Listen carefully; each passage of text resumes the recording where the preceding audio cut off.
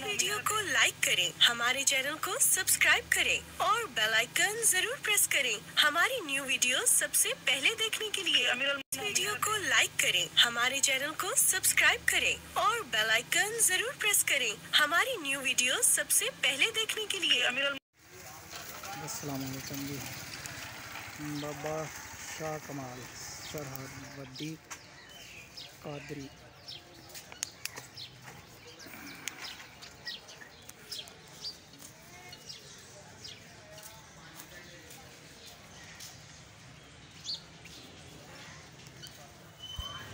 अस्सलाम वालेकुम जी।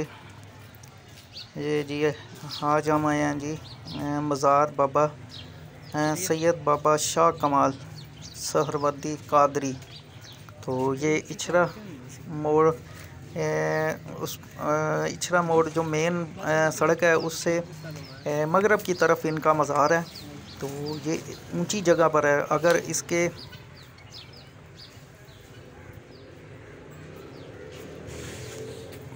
अगर इसके सीधी तरफ़ जाएँगे ना उल्ट, सीधे हाथ पे जाएँगे ना, नीचे सड़क जाती है तो बहुत ऊँचा मज़ार है। तो ये बाज़ार आगे जाता है, यही सड़क मेन पर निकल जाता है। तो ये मेन दरवाज़ा है इनका। इससे एंटर होते हैं तो ये आगे बहुत बड़ा हाल, दलान, सहन कह लें तो ये बहुत बड़ा सेन है। ये अलम लगा हुआ है। गाजी का आलम लगा हुआ है जी। ये सीढ़ियाँ चढ़ते, चढ़ के ऊपर जाते हैं, वो सामने मज़ार का गुंबज है। ये सीढ़ियाँ यहाँ पर जूते उतारते हैं। यहाँ पर वज़ू किया जाता है। ये देखें जी, बहुत मज़ार का हाथा बहुत बड़ा है। तो ये जूते उतार के आगे ये देखें, मार्बल लगा हुआ है। ये मज़ार है जी। सैयद बाबा कमाल शाह कादरी, ये दरख्त लगे हुए ये जाल, ये जो सराइकी में इनको जाल कहते हैं। तो पंजाबी में इनको कहते हैं वन का दरख्त। ये बहुत पुराना दरख्त है, काफ़ी पुराना दरख्त है। ये देखें, लोगों ने इनके साथ धागे भी बांधे हुए हैं। ये सारे दरख्त काफ़ी पुराने हैं। तो ये मज़ार है, यहाँ से दरवाज़ा। मज़ार का अंदर जाने। ये लिखा हुआ है, हज़रत बाबा सैयद शाह कमाल, सहरवादी कादरी। ये है जी इनकी खबर मुबारक। ठीक है जी। ये नाम लिखा हुआ है। ये देख लें जी बाबा सैयद शाह कमाल। ठीक है जी। तो ये मज़ार काफ़ी अंदर से देखें कैसे दुल्हन की तरह सजाया हुआ है। बाबा जी का मज़ार, तस्वीरें लगी हुई हैं, खाना काबा और हक़ मोहम्मद मुस्तफ़ा अलैहि वसल्लम की रोज़े की। तो दुआ करके फिर आगे आपको दिखाते हैं।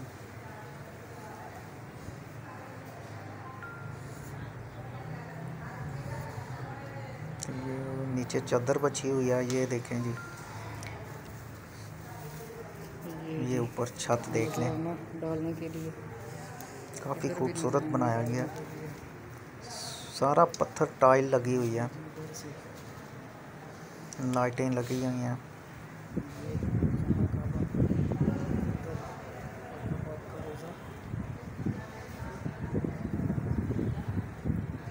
ये नीचे गला पड़ा हुआ है। ये इधर भी गला पड़ा हुआ है। इधर औरतों के लिए गला पड़ा हुआ उधर मर्दों के लिए पड़ा हुआ है। तो ये अल्लाह के घर की खाना काबा की तस्वीर ये देखें जी। ये सारे पत्थर हैं। ये ऊपर फानूस लगा हुआ है। पंखा चल रहा है। काफ़ी खूबसूरत मज़ार बनाया गया है। ये जी वन के दरख्त है। अब आपको बाहर लेकर लेकर चलते हैं जी। ये बाहर का मंजर है ऊपर छत पर। निगाहों बहुत ये पर लिखा हुआ है साहब कलमा शरीफ लिखा हुआ है ये। खाना काबा और रोज़े की तस्वीर बनी हुई है। ये भी जाल का दरख्त है। वन का जिसे कहते हैं पंजाबी में वन। जाल ये दूसरी तरफ़ है। तो ये एक टीले पर बना हुआ है। ये मज़ार का ऊपर गुंबद है। ये टीले पर बना हुआ है। पहले तो जब काफ़ी बीस बाईस साल पहले ये एक टीले पर था। तो इसके आल, आसपास जो है ना वो कब्रस्तान भी है। तो ये मसार का हाथा है।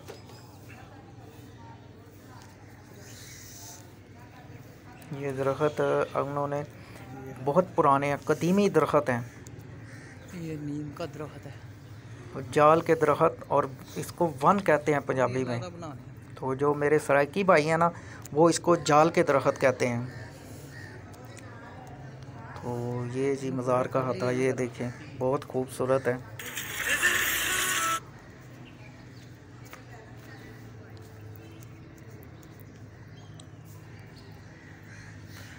ये गुंबज है।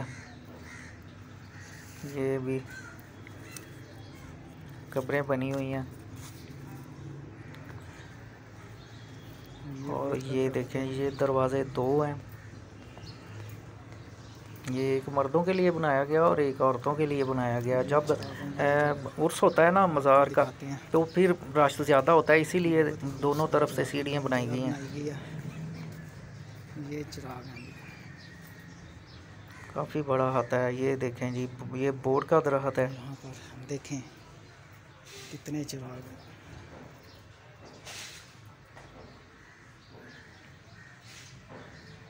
ये चिरागों की तरफ़ लेकर आपको चलते हैं। खूबसूरत जगह बनाई गई है।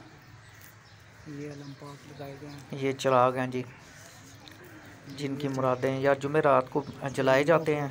हर जुमेरात को। ये देखें, जिनकी मुरादें पूरी होती हैं, वो चिराग भी जलाते हैं यहाँ पर। काफ़ी चिराग पड़े हुए हैं, काफ़ी चिराग पड़े हुए हैं।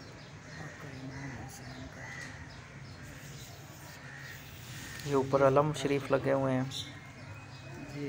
ये अलम की तरफ़ चलते हैं जी, आपको दिखाते हैं अलम। पहाड़ी पर हुआ करता था अब तो पहाड़ी नज़र ही नहीं आती यहाँ पर परिंदों के लिए पानी रखा हुआ है, कुंडियों में। ये है जी अलम पाक। ये बोर्ड का दरख्त तो अभी अलम पाक सुरख रंग का लगाया गया है। है। लगता है अभी थोड़ी देर ही सुरख हो सब्ज़ हो काला हो अलम तो अलम ही है ना। जी ये बोर्ड का दरख्त है। नई जगह पर फिर हाजिर होंगे। तो ये सामने तब तक बैठे हुए हैं मज़ार। ये यहाँ से आता देखें काफ़ी बड़ा है। में याद रखें। ये नीचे वाला सीन है वो ऊपर वाला सीन है। अल्लाह ताला काफ़ी बड़ा सीन है। वाली ज़िंदगी अता करे आपके वालदेन काफ़ी जगह है। आपके सरों पर मज़ार की। रखे। तो तो इजाज़त दें। अल्लाह हाफिज़। ये सामने चिरागों वाली जगह है जो आपको दिखाई जा रही है।